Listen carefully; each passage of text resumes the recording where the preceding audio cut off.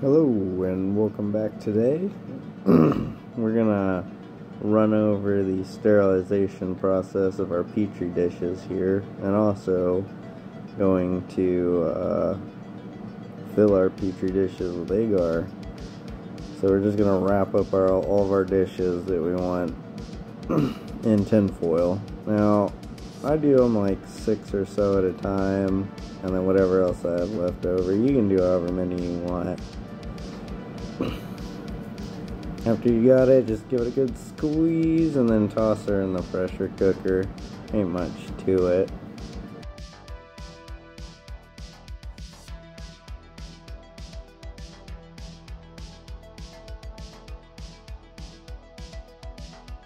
And don't forget to add your water to your proper level. We don't need much. We're only going to be pressure cooking for uh, about 45 minutes. I mean, it doesn't matter too much. More than 25, I'd say. Under two hours. I mean, after it's, uh, you know, got going, just throw her on there and wait for the pressure to come up.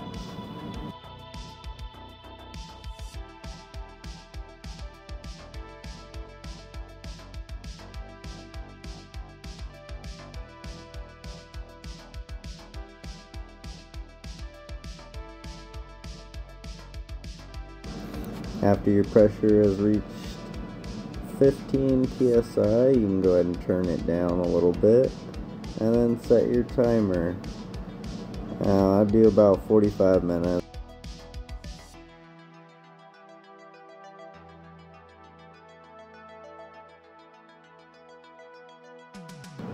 After it's done, just turn your timer off, turn off the burner, and let it cool off naturally let the pressure drop. In the meantime, we'll go ahead and uh, get a pot of water going, get that boiling. And then we're going to toss in our uh, agar just to heat up. This takes a while. Once it's heat up though, we can take our dishes out. I forgot to record this part. And then we can, we can start pouring.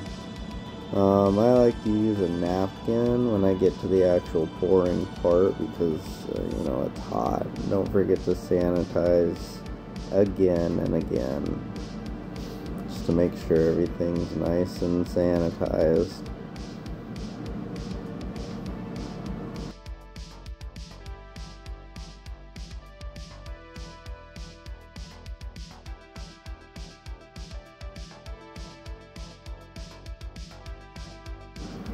I kind of put my arm in the way here. I'll get to getting some better angles for you guys, but you just want to fill up the bottom of the dish. You don't want any extra really, it's kind of a waste.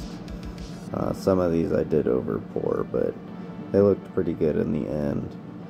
And in the next episodes, we're going to be learning how to use these dishes properly. Um, there's many techniques, but we'll go over a couple of them here soon. Right, you guys have a good day. Don't have too much fun. Watch out for the crazies.